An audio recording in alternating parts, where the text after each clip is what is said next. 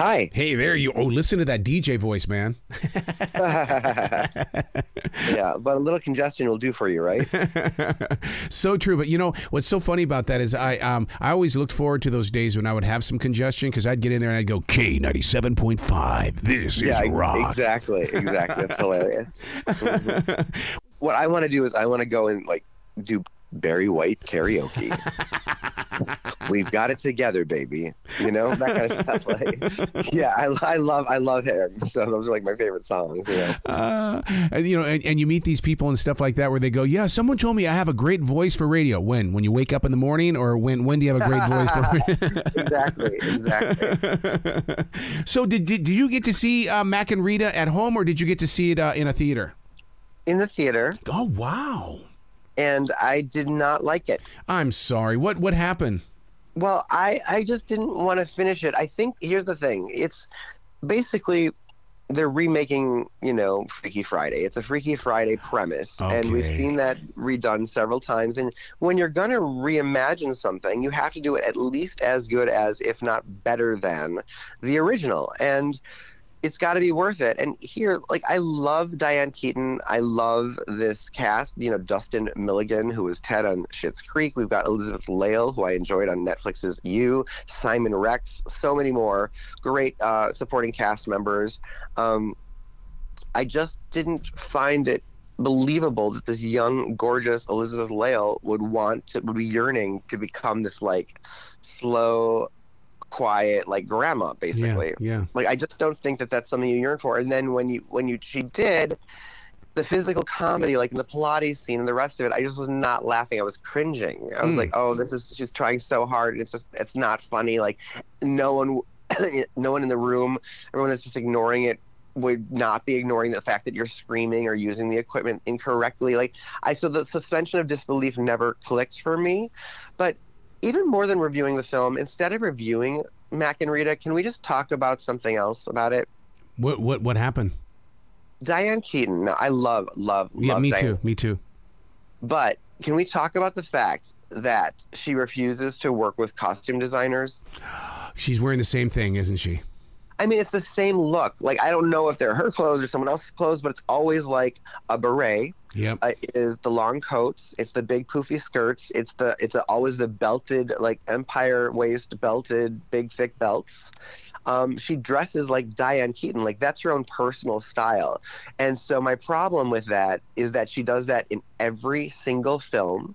So she never looks like she's playing a character in any film. She just looks like Diane Keaton in every movie. Could you Right. imagine if like Nicole Kidman didn't wear a different wig in every single role she does on TV and film and different makeup and different clothes and different posture. I mean, like, look at a real actor or even Meryl Streep, like how different she changes. Like, look at Meryl Streep in The Devil Wears Prada versus The Witch in Into the Woods. Two different people.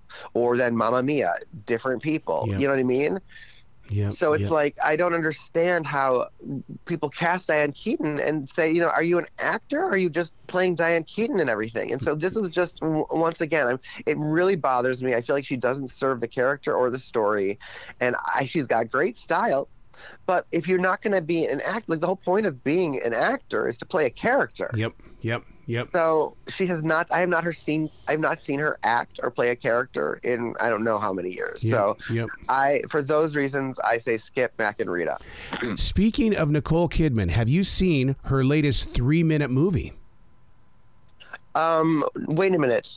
Not Roar. Which one are you talking about? This is the one right there. When AMC starts their movies, it is Nicole Kidman walking through a theater, inviting people to come back to the movie adventure. It is oh, the Oh, yeah, yeah. sexiest. I mean, the sexiest I've ever seen her. In the way of her just being, I'm just a normal girl. I just want to come to a theater to watch a movie.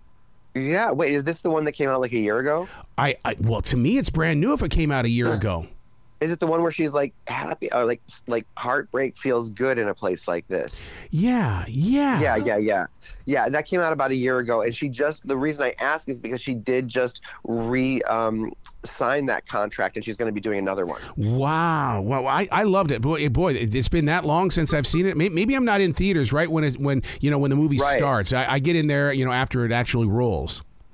Exactly, and it's so great. I mean, people have been for like the last year I've been wearing T-shirts with her and that phrase on it. It's gone kind of viral. It's funny. Oh, I love it. I love it. All right, back to the movies. What about Day Yes. Shift? What's going on? This is an R-rated Netflix film, uh, direct director debut. Who, you know, his first film, and he was a stuntman, and it stars Jamie Foxx, who's a good dad slash vampire hunter, and but he's a, he's a dad with something to prove, and it's an action comedy fantasy. Now, I like vampires, but I don't know if I like comedic vampires because it's almost more like a zombie movie. It's very gross, it's very gory, it's very gratuitous that way. The, um, supporting cast, you've got Dave Franco, Snoop Dogg, Karla Souza.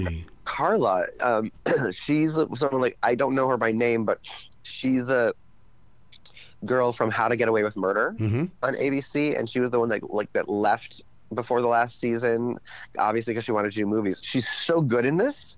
She was the highlight of this film for me. Um, but the, while the fight choreography is really good, the vampires aren't scary. I guess they're not supposed to be, even though it's rated R. It's just a bunch of fighting, and I feel like the film was too linear and it's not fully formed characters Oh, or wow. or story arc. It's just very basic, long, and cheesy. And so I, I didn't hate, hate, hate it. So I'm saying it's the kind of movie if you like to stream something in the background on Netflix while you've got like other things doing, you're doing, you're not paying full attention. Day Shift would be a good like background stream. Yeah. Sometimes I just I just need eye candy, just something that's going to just you know okay something's on the tube while I do something else. Yeah, Day Shift is great for that. Yeah, that's cool. Thirteen, the musical. I'm not familiar with this.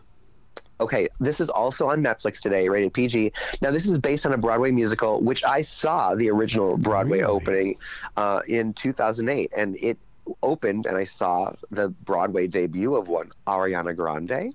Really? Yes, and she co-starred with Elizabeth Gillies from you know TV's Dynasty, and they're like BFFs in real life. Oh, and that show was great. I remember being just I didn't walk away saying, "Oh my god, it's one of my favorite shows. I need to see it all the time," you know. But I was like, "It's great. It's cute. It's great." So when I heard it was being made into a movie, I was excited about it. And then I saw the movie, Uh oh. and I was like, "Oh, oh no." Um, basically, here's the premise: It's about a boy, a 13-year-old boy, who is having a bar mitzvah. hmm He lives in New York City with his parents. They're getting a divorce, and his mom decides before his bar mitzvah to move him to Indiana, where they're the only Jewish people. So now he's like in Indiana, and like a bar mitzvah is a big deal. He wants the party to be really special. He goes to school. The songs are all really good. That's the good part. But what's wrong with this thing? Now you know I love musicals. Mhm. Favorite genre. Okay, but here's the thing: some people hate musicals. And the reason that people who hate musicals hate musicals is because they think it's really obnoxious that suddenly, out of the blue, in the middle of a Yeah. dramatic scene, people just break out into song. Right. And this movie, 13 the Musical, overemphasizes what people hate about musicals Hmm. hate about musicals. So what I'm saying is in every scene when people are talking or whatever and a song's about to start, they stop talking, they wait for the introductory music to the song to begin. They're silent during that time. Then they turn to the camera, break the fourth wall, and perform the song to you, to the camera. Then they stop and then they go back into it's so unnatural, it's so obnoxious, it's so not how a, sh- a musical should ever be done. It's ridiculous. I hated it. I was almost so. Here's the thing. If you like to hate watch, if you've ever hate watched something or you like to hate watch something, Mhm. hate watch 13 the musical. Stream that on Netflix. Oh my God. Songs are great. it, it just it just doesn't live up to it then. Oh no, it, it was better. The, the production value of this is worse than what you see on like a on like High School Musical or The Descendants on Disney Channel. Yeah. Mm. Who who do you think they're going for? Do you think they're even going to try to get a YA audience? Oh, like well, that's all they can. I mean, it's got to Yeah. be like you know the, the the tweens. Yeah, exactly, exactly. Do you really think that we needed a League of Their Own as a series? Um, I wondered. I I remember back. Remember when the movie first came out? Do you remember the year? Yeah, You do. I I, I remember when it came out. What year?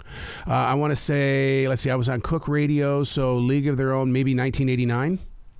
Good. Very close. Ninety two. Okay, 92. Okay, yep. Yeah, so actually 30 years ago. And it's the same look and feel as the Geena Davis, Tom Hanks, Madonna movie. It feels like it was shot in 1992, but made to look like, you know, the era of the war, the war when they hired women to do a baseball league, a national baseball league. And it's this film, the, ser- uh, the series rather, it's a TV series on Prime Video. excuse me. And on Prime Video, this TV series, it's all different characters, so it's not the same character that Geena Davis played or the character that Madonna played or Oh. even Tom Hanks. It depicts different characters, but it's the same team. It's still the Rockford Peaches. Yeah. And um, it honors that same time, and it is so good right from the very first episode. I watched the first two episodes, and I'm going to continue watching it because it did such a good song of balancing the game and the athleticism, and also character and story. Like I was hooked right right away. I was invested in and caring about these. So like. Unlike Day Shift, which didn't fully form characters, it was just very basic. Mhm. A League of Their Own, the story is complicated in the best way. Like you're like all twisted up within the drama of these women and how they're being disrespected as people, but also not being taken seriously as athletes. And they just want to be good athletes, but because they're women, they're not treated that way at that time. You know, it's so good. I was really enjoying it. And also, kudos to this design team for getting it to look exactly like the movie.